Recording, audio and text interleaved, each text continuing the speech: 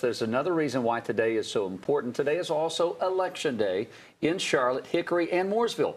And one big race that we're paying a lot of attention to in the May is the mayoral race here in the Queen City. Republican Stephanie de Sarachaga Bilbao is looking to beat out incumbent Democrat Vi Lyles. Queen City News is your local election headquarters. Polls will close tonight at 7:30 in areas holding elections. We'll have coverage on the decisions from those races tonight on Queen City News at 10 and online at qcnews.com.